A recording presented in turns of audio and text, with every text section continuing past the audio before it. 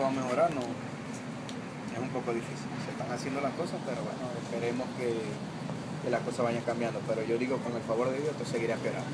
Hay una guerra ahorita entre delincuentes y funcionarios policiales. No se está seguro ni, ni en su propia casa, ni en su trabajo, ni siquiera los funcionarios tienen garantías de vida. No, esta es la seguridad que tenemos ahorita. La moral. Era un padre de familia, sano, trabajador. Sí. ¿Qué nos puedes decir de él? Ven, uno de mis sobrinos preferidos. Padre honorable. Sí. Señor, ¿qué le pide usted a las autoridades? Claro, que traten de investigar a ver si por lo menos se dan con el paradero de los delincuentes. Porque te digo ahorita, yo no siento dolor. Ay, lo que siento. Que rabia no tengo. Impotencia. Sí, eso.